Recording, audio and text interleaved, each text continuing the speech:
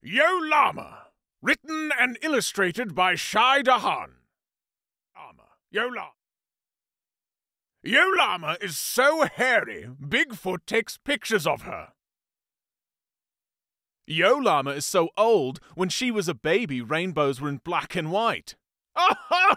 Yo Llama's neck is so long she hits her head on the moon when she walks. Oh, yeah? Well, Yo Llama is so hairy, when she lays on the floor, people think she's a carpet. Oh ho ho! Yo Llama is so stinky, she can make a skunk run away. Ooh! Yo Llama is so dirty, her bathtub looks like a used tea kettle. Yo Llama's neck is so long. How long, you ask? So long that her head blocks out the sun. Yo Llama is so old, her best friends were all dinosaurs. Hmm.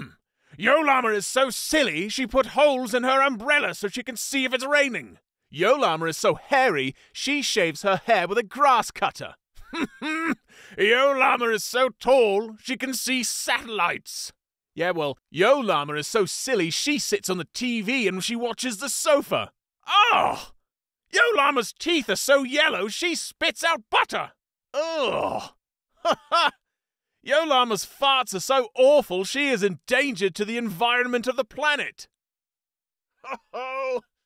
Ah, I love me some good old llama jokes. Oh, yeah, I know what you mean. They're hilarious, aren't they?